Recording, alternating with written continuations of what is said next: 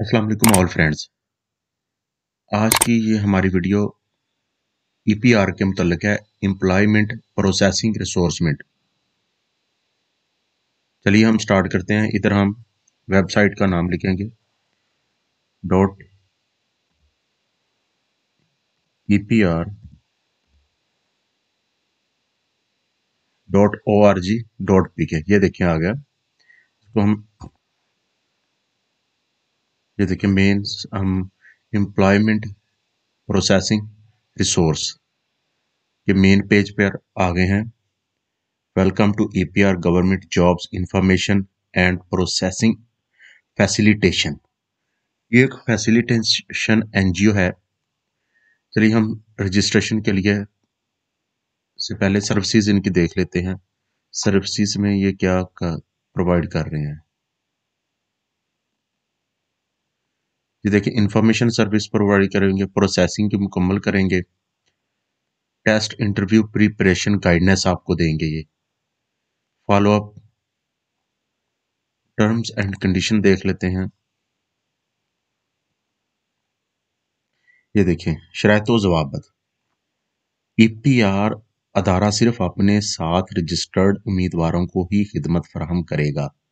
Registration registration की म्याद एक साल, जबकि उम्मीदवार को एक साल रजिस्ट्रेशन फ़ीस मुबलका पाँच सौ तीस रुपये ई पी आर को पेशगी अदा करनी होगी। ये पहले आपने जब अप्लाई करना है तो डिपॉजिट स्लिप आपने साथ अप्लाई करने के साथ पाँच सौ तीस रुपये आपने सालाना देने हैं अगर आप अपना इधर इधर से अप्लाई करना चाहते हैं तो। ख्वाहिशमंद उम्मीदवार ऑनलाइन और बजरिया रजिस्टर्ड डाक दोनों तरीका के मुताबिक एक तो ऑनलाइन अप्लाई कर सकते हैं और बजरिया रजिस्टर्ड डाक। दोनों तरीका कार के मुताबिक ईपीआर के साथ रजिस्टर्ड हो सकते हैं। बजरिया डाक रजिस्ट्रेशन फॉर्म साल करने वाले उम्मीदवार के लिए ज़रूरी है कि वो तमाम तर, दरकार कागजात की कापी बतौर रिकॉर्ड रजिस्ट्रेशन फॉर्म के साथ लाजम मुंसलक करे। ये शरात जवाबत है। अगर आप उर्दू में सारे पढ़ना चाहते हैं तो पढ़ सकते हैं। मेन ये आपको बता दिए हैं। चलते हैं हम इधर से रजिस्ट्रेशन पर। ये देखिए रजिस्ट्रेशन का पेज ओपन हुआ है। एक ऑनलाइन अप्लाई है। Important instruction for online apply important instruction for apply offline by post अगर आपने बाय पोस्ट करने हैं तो ये application form documents fee deposit original bank deposit deposit slip पाँच सौ तीस रुपये जो आपने पे करने हैं। और बैंक ट्रांजैक्शन आईडी या ट्रांजैक्शन आईडी अगर करने इधर से करना है तो आप इधर से करेंगे, आप फॉर्म आप डाउनलोड कर सकते हैं।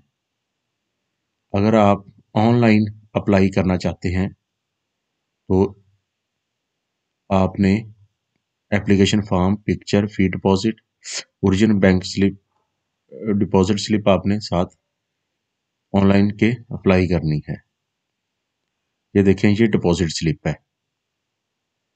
ये पाँच सौ अगर इजी पैसा के थ्रू करना है, ये स्टेप बाय स्टेप इन्होंने तीस स्टेप लिखे हैं, आप पाँच सौ तीस रुपये इसको, इनको इस तरीके से पे सक पे कर सकते हैं। ए आईडी ट्रांजैक्शन आईडी मिलेगी, ये नोट कर लें और अपने रजिस्ट्रेशन फॉर्म पर इस आईडी का अंदराज करें। जो अभी हम फिल करना बताएँगे, उसमें आप ये, इसका अंदराज इसके आईडी का इंदराज करेंगे, अगर आपने इजी पैसा के थ्रू अप्लाई करना है तो। ये देखें। अब एचबीएल के थ्रू पे करना चाहते हैं तो ये सारा प्रोसीजर उन्होंने बताया हुआ है एचबीएल के थ्रू आप इस तरह फॉर्म फिल करके, चलान फॉर्म फिल करके पे कर सकते हैं। फैसल बैंक के थ्रू अगर आपने पे करना है। ये चलते हैं इसके बाद।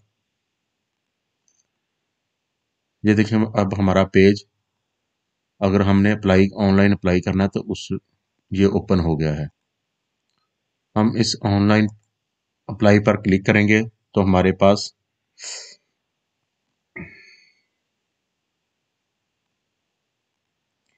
हमारे पास ये ओपन हो गया है। इस तरह से हमने personal detail academic details job experience EPR registration fee पाँच सौ तीस रुपये जो आपने पी है, वो डिपॉजिट स्लिप साथ लगेगी। एप्लीकेशन अंडरटेकिंग ये सबसे पहले आपने ये तमाम प्रोफ़ाइल पिक्चर अपना सीएनसी मुकम्मल, इधर आपने लिखते टाइपिंग करते जाना है।